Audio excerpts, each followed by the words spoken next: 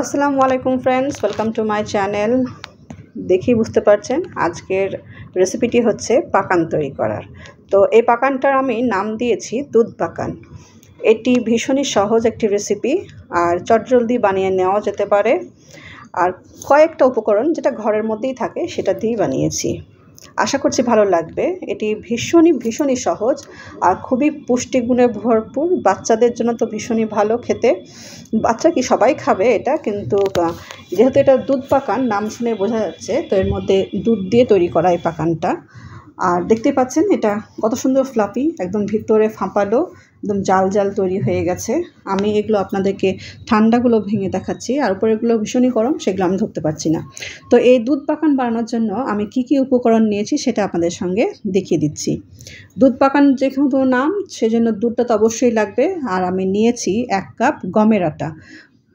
গমের আটাটাই আমি নিয়েছি, এখানে আপনি ময়দাও নিতে পারেন আর নিয়েছি এক কাপ দুধ আর এক কাপ নিয়েছি খেজুরের গুড়। এটি ঝোলা খেজুরের গুড়, সেজন্য এক বাটি নিয়েছি। প্রয়োজন হিসাবে আমি মিষ্টিটা কম বেশি করে নেব।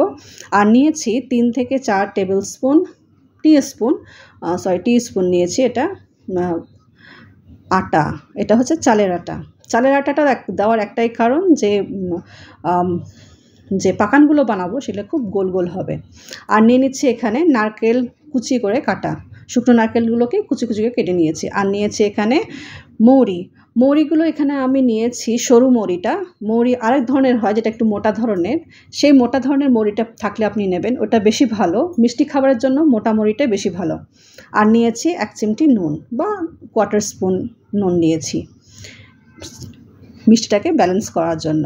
তো আমি এবার প্রত্যেকটা উপকরণকে এক এক করে আমার একটি বড় বলে ঢেলে নিচ্ছি। যেমন প্রথমে আমি দিয়ে দিলাম গমের আটা, তারপরে দিয়ে দিলাম চালের আটা। এগুলো খুব ভালো করে কিন্তু চেলে আমি ব্যবহার করেছি। আর নিয়ে নিলাম নারকেলগুলো। নারকেলগুলো আপনি চাইলে পরে আটাটা গোলার পরেও দিতে পারেন। আমি কিন্তু শুরুতেই সব দিয়ে দিলাম। আর মৌরিগুলো দিয়ে দিলাম, নুনটাও দিয়ে দিলাম। গুড়টাও আমি দিচ্ছি, কিন্তু অল্প অল্প করে গুড়টা দেব। মানে আমার কি, কতটা মিষ্টির প্রয়োজন, ঠিক সেটা আমার দেখে আমি গুড়টাকে দেব। তো সেইভাবে হাফ বাটি আমি গুড় রেখে দিলাম, আর বাকি হাফ বাটিটা এবার মিক্স করে নিচ্ছে। আপনি এটা চাইলে পারে হাত দিয়েও মিক্স করা যেতে পারে, আর না হলে এভাবে একটা হ্যান্ড ব্লেন্ডার দিয়েও করতে পারেন। তো এটাকে আমি খুব ভালো করে মেখে নেব।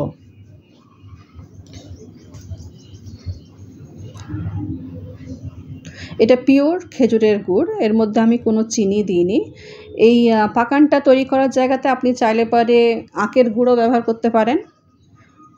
সম্পূর্ণ খেজুরের গুড় দিয়ে আমি বানিয়েছি, আপনি চাইলে পারেন খেজুরের গুড় অর্ধেকটা আর অর্ধেকটা চিনিও দিতে পারেন বা পুরোটা চিনি দিয়েও করা যেতে পারে বা পুরোটা খেজুরের গুড় দিয়েও করা যেতে পারে। এখানে যেমন আমি পুরোটা খেজুরের গুড় দিয়েই করেছি।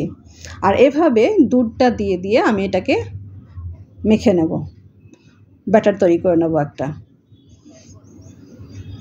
মিষ্টিটা তো আপনাদের ওপর ডিপেন্ড করছে যে যেরকম মিষ্টি খাই। আমি যেহেতু খুব বেশিও মিষ্টি খাই না, আর খুব হালকাও না, এটা একদম ঠিকঠাক মিডিয়াম মিষ্টি হবে। মানে একটি দুধ পাকান যেহেতু, খুব বেশি মিষ্টি দিলেও ভালো লাগবে না। অতিরিক্ত মুখ মারা মিষ্টি দেওয়া চলবে না, এটা একটু দুধের স্বাদটা থাকবে, সেজন্য একটু মিডিয়াম মিষ্টি দেওয়াটাই বেশি ভালো। এভাবে আমাকে সমস্ত ব্যাটারটাকে তৈরি করে নিতে হবে আর খুব ভালোভাবে মাখাতে হবে মানে ফেটাতে হবে। এই তো অল্প অল্প করে এভাবে দুধ দিয়ে এই ব্যাটারটাকে বানাতে হবে। আমি একবার গুড় ব্যাটারটাকে একটু টেস্ট করে দেখেছিলাম। দেখলাম যে এটার মধ্যে সম্পূর্ণ মিষ্টিটাই লেগে যাবে মানে এই যে এক বাটি গুড় সেটা আমি সম্পূর্ণটাই দিয়ে দিলাম।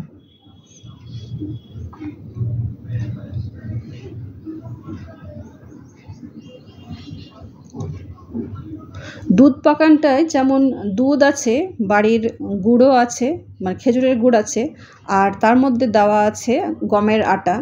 সেজন্য আমি এটা বলছি খুবই উপকারী। এটা বাচ্চাদের টিফিনেও দেওয়া যেতে পারে বা দূরপাল্লায় কোথাও আপনি একটু বেরোলেন, তখন সঙ্গে এটা নিয়ে একটু জার্নির মধ্যে অবশ্যই খাওয়া যেতে পারে। তো ব্যাটারটা হবে ঠিক কেমন? যে কেক তৈরি করার জন্য আমরা ব্যাটার তৈরি করি, তার থেকে উনিশ বিশ একটু পাতলা হবে এটা। মানে এই যে ফিতেটা উঠছে, ফিতেটা ঠিক মানে হালকা, একটু হালকা। দেখতে পাওয়া যাচ্ছে যে একটা রিবেন টাইপের তৈরি হচ্ছে। রিবেনটা কেমন? বেশ পড়ছে যখন রিবেন, পরে কিন্তু এটা মিলিয়ে যাচ্ছে। ঠিক এই পরিমাণে এটাকে এবার আমি ঢেকে রেখে দেবো অন্তত কুড়ি মিনিট। খুব কম কুড়ি মিনিট এর থেকেও বেশিও কিন্তু রাখা যেতে পারে। এই তো এখানে আমার এক কাপের মধ্যে দুই টেবিল চামচ মতন দুধ রয়ে গেল। আর এবার আমি এই ব্যাটারটাকে ঢেকে রেখে দেব। কুড়ি মিনিট, মিনিমাম কুড়ি মিনিট রাখব। তার থেকেও বেশি আমার অন্তত দু ঘণ্টা, আড়াই ঘণ্টা রাখলে তো খুবই ভালো হয়। এটাতে আপনার যে পাকানগুলো হবে খুবই ফ্লাফি আর একদম নরম সফট তৈরি হবে। মানে আটাটাকে ভিজতে দেওয়া একটু সময় দিতে হবে। তো এখানে আমি প্রায় এক দেড় ঘণ্টা পর এসে এটাকে আরও একবার একটা চামচ দিয়ে খুব ভালো করে এটাকে ফেটিয়ে নিচ্ছি।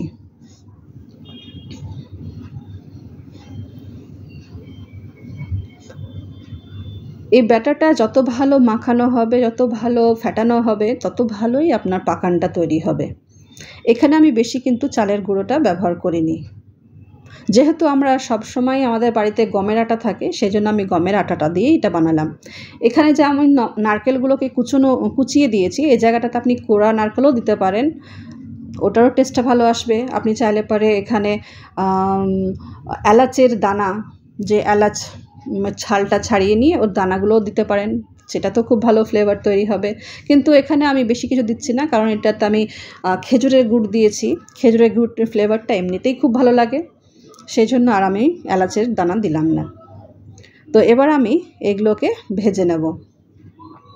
তো সেই জন্য আমি এখানে একটা ছড়ানো প্যানে দিয়ে দিয়েছি তেল আর ব্যাটাটাকে খুব ভালো করে ফেটিয়ে নিয়ে একদম আস্তে করে মিডিলে গিয়ে আমি এটা দিয়ে দিতে হবে। আর এইভাবে সাইড থেকে গরম তেলটা তুলে ওর মিডিলে দিতে হবে মধ্যেখানে। তাহলে কি হবে? এটা ফুলে যাবে খুব সহজেই।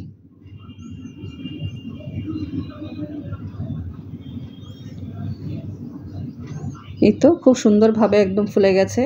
আর উল্টে দিলাম। এর মধ্যে যে ছাদাটা হয়েছে, এই ছাদাটা হওয়ার কারণ হচ্ছে এখানে আমি কুচনো নারকেল দিয়েছি। কুচনো নারকেলটা আমার দেওয়া খুব ভালো লাগে মানে কেন কি এটা যখন আমি খাব না, তখন মুখের ভিতরে যে নারকেলের কুচিটা পড়বে, তখন ওটাকে চিবাবো যখন, তখন খুব ভালো একটা মানে ফিল মনোভাব হবে, খুব ভালো একটা টেস্ট হয়। তো এইভাবেই আমি সমস্ত পাকানগুলোকে এই আর তেল কিন্তু সব সময় আমাকে বেশ ভালো গরম রাখতে হবে। মানে প্রথমে তেলটাকে একদম ভালো করে গরম করে নিয়ে আমাকে মিডিয়াম ফ্লেমে রেখে দিতে হবে, তারপর এক একটা করে পাকান ভাজতে হবে। সেই জন্য তেল যেন ভালো গরম থাকে। দেখতে পাচ্ছ কী সুন্দর একদম প্রত্যেকটা পাকানগুলো কী সুন্দর ফুলে ফুলে যাচ্ছে।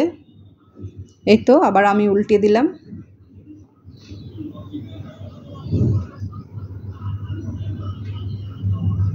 দুধ পাকানটা আমাদের বাড়ির সবারই খুবই প্রিয় একটি রেসিপি এটা প্রত্যেকেই খেতে চায়।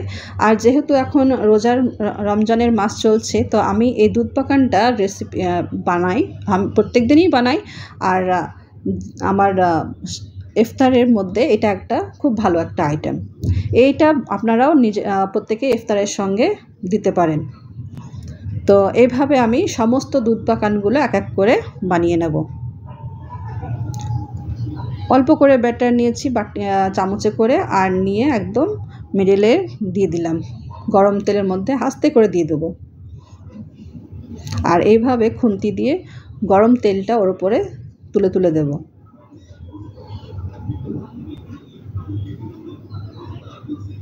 এই যে কী সুন্দর হয়ে একদম ফুলে যাচ্ছে সমস্ত পাকানগুলো। এই ব্যাটারটাকে বেশি করে তৈরি করে আমি ফ্রিজেও রেখে দিতে পারি। দিয়ে তিন চার দিন ধরে ইউজ করতে পারি।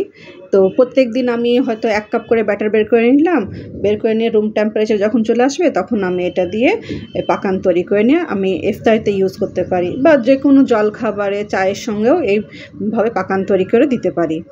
তো এই রেসিপিটা ভীষণই সহজ, একবার ট্রাই অবশ্যই করবেন, ভালো লাগবে। আশা করছি সবারই ভালো লাগবে এটা। খুবই টেস্টি খেতে ট্রাই করবেন। সমস্ত পাকানগুলো আমি তৈরি করে নিয়েছি। দেখতেই পাচ্ছেন, এখানে প্রায় সতেরো থেকে আঠারোটা পাকান তৈরি হয়েছে। এগুলো ভীষণই গরম। তো আমি একটু আইকারগুলো ছিঁড়ে দেখাই। একটু এত গরম যে আমি ঠিক মতন ধরতেও পাচ্ছি না। একদম ভিতরটা কি সুন্দর জালি মতন তৈরি হয়েছে। দেখেই বোঝা যাচ্ছে এটা কত সুন্দর একদম নরম।